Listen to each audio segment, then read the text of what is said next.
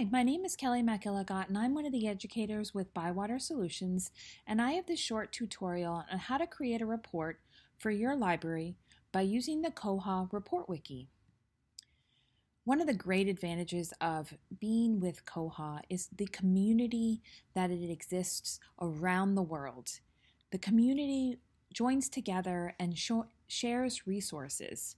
So there's this great resource called the Koha Report Wiki that partners and Koha users around the world add their reports that they've had created for their own library and put it in a central location that you can grab one of those reports and use it for your library. So I'm going to show you how to do that today. I'm going to go over to the report module on the staff client. And here, right here in the report section, at the bottom, we have this link called Koha Reports Library. Clicking that will bring you to another tab. So I'm still in my Koha um, tab, but I now have another tab open to this wiki page that includes all these reports for Koha libraries. So as I scroll down, you'll see that there are reports starting and hold. So each of these um, links is a report. We can go down to patron reports, circulation reports,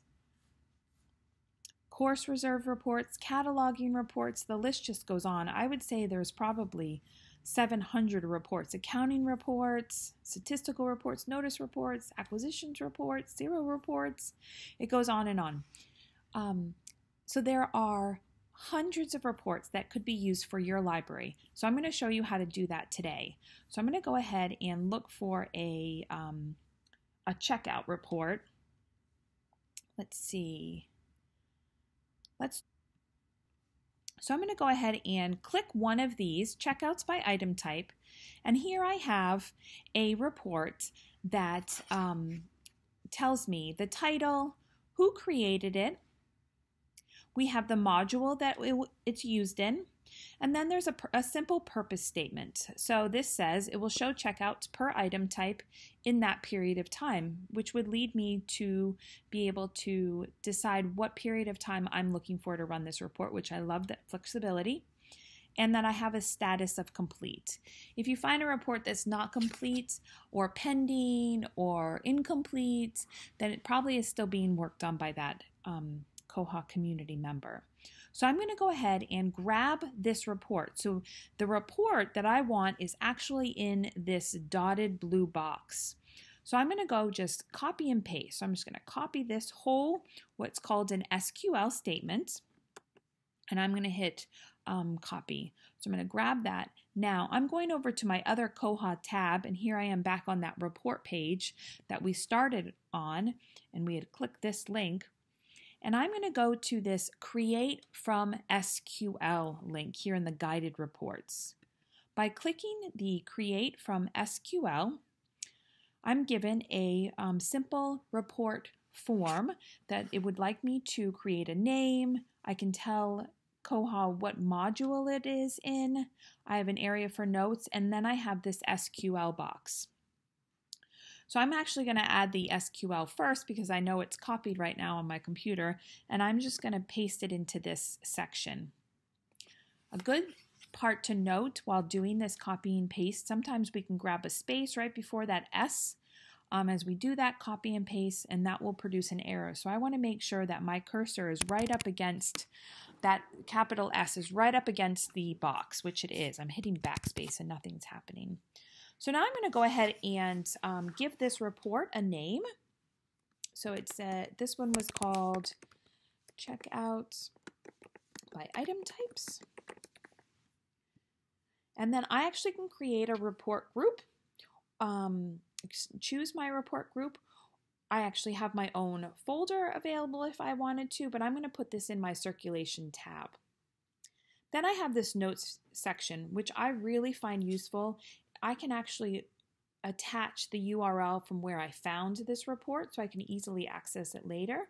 So I'm going to go back up there, grab the um, URL and just paste it into this box. Now I'm all done. I've added my SQL, I've given it a name, and I'm going to go ahead and hit save. Okay, once I had hit saved, I have some options up here. If I wanted to do any of these, edit this report, duplicate this report. I've yet to see what the results are, so I'm going to go ahead and hit run this report, which is right here, or I could use this box right here. Um, now it looks like I can grab a date range, which I was hopeful for. My site actually doesn't get a lot of business, so I'm going to give it a big old range of dates. But you could do this monthly, you could do it per week. And then I'm going to go ahead and grab, um, go ahead and hit run. So here I have, it's a really simple report. I can see the item type and the number of checkouts that have happened between these dates. So this would be a great yearly um, report maybe or monthly to see what actually is being checked out. At this point, I can see a little bit of the information I left. I have, I have those that URL.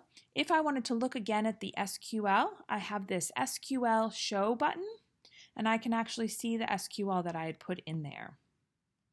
So this is a great resource to know about, this Koha report library. And over on the left, I actually have another, this link kind of follows you around in this report module. So I have it here. Um, again, this report library is, is open and available to go ahead and grab those, any of these reports that look really interesting to you and you think will work in your library, go ahead and use those. Now I'm going to go ahead and show you how you find your report once you save it in there. So I'm going to go back to that report, report tab using my breadcrumbs at the top. And now I'm going to go to this used save. When I go to my used save, I can actually see all my reports that I have in my um, Koha system.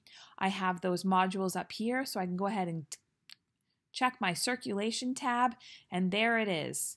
You can see this is the one I just created. Those notes show up nice and clear. It tells you that I did it, what day I created it, and when I last ran it. And easily I could run it again right from here. So this is a great resource. Please go ahead and use it. But if you have any questions or need help with this process, go ahead and submit a ticket with us at Bywater. Thank you so much for watching. This tutorial is a production of Bywater Solutions. Have a great day.